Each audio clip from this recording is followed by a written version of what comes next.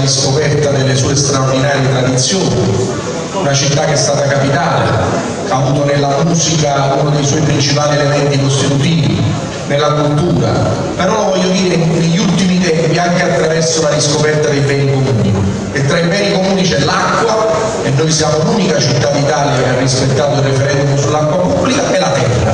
L'agricoltura non è nostalgia, l'agricoltura significa che noi dobbiamo dimostrare che le nostre terre non sono diventate terra dei funghi per mano di pochi criminali, ma deve ritornare a essere la terra della passione, della qualità, dell'energia e della forza. L'agricoltura non è domani, l'agricoltura è presente. Napoli è la seconda città che insieme a Vienna sono le due città d'Europa che producono il maggior numero di bottiglie di vino.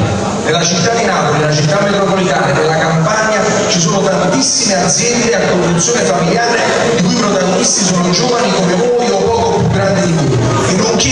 spesso finanziamenti pubblici, ma lo fanno esclusivamente con la propria passione, la propria forza, mettendoci il cuore. Quindi io immagino la Napoli capitale del domani una città di turismo, di cultura, di industria, ma tanto anche di agricoltura, che serve per vivere meglio, serve per non rincorrere le massificazioni industriali, ma guardare alla qualità, alla tradizione, alla fantasia, alla creatività di cui siamo capaci. Quindi davvero tante scuole, tanti giovani insieme alla musica, alla